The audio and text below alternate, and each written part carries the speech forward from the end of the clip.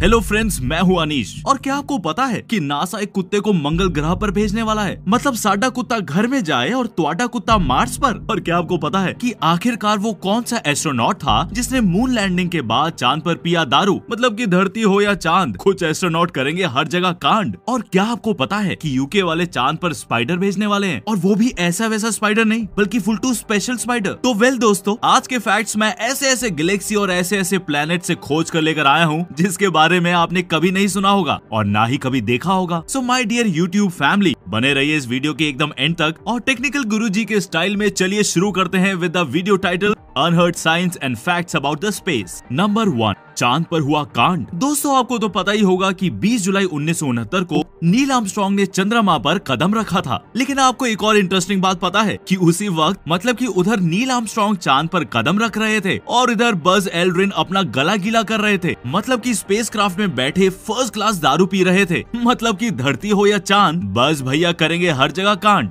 Number two तो well दोस्तों, ये बात तो हम कई सालों से जानते हैं कि डार्क मैटर एक ऐसा मैटर है जो कि इनविजिबल है। मतलब कि मिस्टर इंडिया का सौतेला भाई है। लेकिन क्या आपको पता है कि काबली चना institute sorry sorry I mean Kavli institute के फिजिशियन और मैथमेटिशियन का ये मानना है कि डार्क मैटर और कुछ नहीं, बल्कि प्राइमोडियल ब्लैक होल्स हैं। मतलब कि बिग बैंग के बाद जब पूरा यूनिवर्स मैटर से भरा पड़ा था, तब उस वक्त मैटर ज़्यादा डेंस होने के कारण वो खुद से कोलैप्स हो जा रहे थे और बन रहे थे ब्लैक होल्स और उन्हीं ब्लैक होल्स को प्राइमोडियल ब्लैक होल्स कहा जाता है। और वही प्राइमोडियल ब्लैक होल्स यूनिवर्स को तेरह अरब सालों से एक साथ जोड़े हुए हैं। लेकिन इस कंसेप्ट में कितना दम है? तो दोस्तों, आपको जानकर खुशी होगी कि प्राइमोडियल ब्लैक होल्स पर सबसे पहले डीप स्टडी हम सबके चहीते सर स्टीफन हॉकिंग ने किया था। तो ऐसा भी हो सकता है की डार्क मैटर और कुछ नहीं, बल्कि प्राइमोडियल ब्लैक होल्स हो। नंबर थ्री दोस्तों, क्या आपको पता है की साल 2008 में स्टीव पियर्स ने नासा वालों के लिए एक ऐसा परफ्यूम बनाया था, जो कि एग्जैक्टली वैसा ही स्मेल करता है, जैसे कि स्पेस स्मेल करता है, और उस परफ्यूम का नाम है ऑफ़ द स्पेस परफ्यूम और पता है नासा वालों ने उस परफ्यूम को क्यों बनाया था, क्योंकि वे चाहते थे कि एस्ट्रोनॉट को स्पेस भेजने से पहले उनको खुशबू से मिलवा दिया जाए। अरे यार स्पेस की खुशबू से। नंबर फोर लड़की का सैटेलाइट सॉरी सॉरी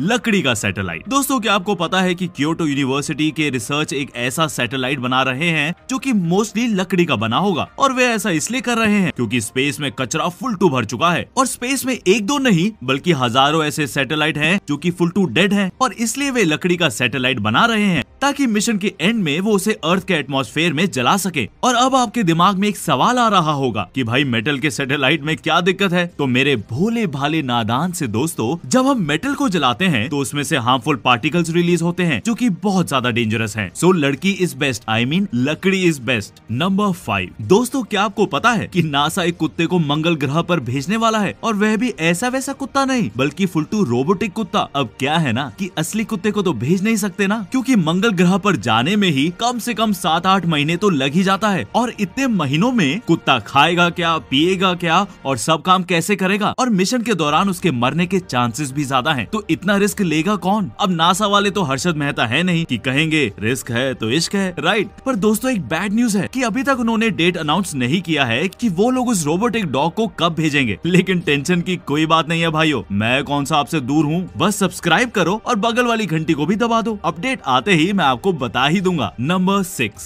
क्या आपको पता है कि इंटरनेशनल स्पेस स्टेशन में बैक्टीरिया पर कई सालों से रिसर्च हो रहा था? और उसमें ये पता चला है कि धरती के मुकाबले स्पेस में बैक्टीरिया बहुत जल्दी ग्रो करते हैं, ज़्यादा स्ट्रॉन्ग हो जाते हैं और बहुत ज़्यादा खतरनाक भी हो जाते हैं। और ऐसा इसलिए होता है क्योंकि लेस ग्रेविटी में बैक्टीरिया का बॉडी ऐसे रिस्पॉन्स करता है कि वे छोटे से पिद्दू से चिलगोजे, महेंद्र बाहुबली बन जाते हैं। मतलब कि स्पेस में हम हट्टे कट्टे इंसान जाएँ तो कमज़ोर हो जाए और वे पिद्दू से चिलगोजे जाएँ तो बाहुबली बन जाए। ये ठीक बात नहीं है स्पेस नंबर सेवन हेलो कौन? अरे, हम बोल रहे हैं। दोस्तों, क्या आपको पता है कि साल 2015 में ब्रिटिश एस्ट्रोनॉट टिम पीक ने इंटरनेशनल स्पेस स्टेशन से कॉल किया था और वो कॉल किसी अनजान लेडी को लग गया था। और जब वे बोले हेलो क्या ये धरती है? तो उस अनजान लेडी ने कहा, नहीं रे साले, मैं तो एंड्रोमेडा गैलेक्सी से बोल रही हूँ। वो क्या है ना? अंबानी ने जियो का टावर यहाँ भी फिट कराया है। सॉरी सॉरी भाई लोगों, दरअसल उन्होंने ये कहा था कि क्या तुम प्रैंक कर रहे हो और कॉल कट हो गया। बेसिकली उस अनजान लेडी को ये लगा कि शायद कोई उनके साथ मज़ाक कर रहा है और उसके बाद टिम पीक भैया ने अपने ट्विटर आईडी से उस अनजान लेडी से माफ़ी भी मांगा। सॉरी सॉरी सॉरी बच्चे के लोगे जान क्या? नंबर एट तो वेल दोस्तों क्या आपको पता है कि इंटरनेशनल स्पेस स्टेशन में कितने बेडरूम्स हैं, कितने बाथरूम हैं और कितने जिम हैं? यार ये तो कॉमन बात है। और इनफैक्ट तुम मेरे भाई बंधु हो तो तुम्हें तो पता ही होना चाहिए ना। लेकिन नहीं पता तो कोई बात नहीं दोस्तों। मैं हूँ ना। सो माई डियर भाई बंधु इंटरनेशनल स्पेस स्टेशन में सिर्फ़ छह बेड्स हैं नॉट रूम्स क्योंकि वहाँ पर अभी सास बहू वाला झगड़ा नहीं हुआ ना। जब झगड़ा ही नहीं हुआ तो बंटवारा क्या घंटा होगा? और वहाँ पर है एक फ़र्स्ट क्लास जिम और पॉटी शॉटी करने के लिए दो बाथरूम है। पर wait a minute space station में एक बार छह एस्ट्रोनॉट्स रहते हैं, और उनके लिए बस दो बाथरूम बहुत ना इंसाफी है। Number nine spider man on the moon दोस्तों, क्या आपको पता है की यूनाइटेड किंगडम की एक स्पेस एजेंसी स्पेस बेट 2021 में मतलब की इसी साल, जुलाई के महीने में, चाँद पर अपना रोवर भेजने वाली है। और वह भी ऐसा वैसा रोवर नहीं, बल्कि full to special spider over और उसका ऑफिशियल नाम है एज अ गुमो रोवर और ये वीडियो होता है यहीं पर ओवर तो बस दोस्तों, आज के इस वीडियो में बस इतना ही। उम्मीद है कि आपको वीडियो देखने में मज़ा आया होगा। तो दोस्तों वीडियो पसंद आया है तो वीडियो को एक लाइक ठोको और ऐसे इंटरेस्टिंग और अमेजिंग स्पेस वीडियो देखने के लिए अभी ही हमारे चैनल को सब्सक्राइब करो और बगल के घंटे को भी दबा दो, ताकि तुम आगे आने वाली कोई भी वीडियो को मिस ना कर सको। और हम फिर मिलेंगे नेक्स्ट वीडियो में। और as always be a space lover and be a space यात्री। जय हिंद।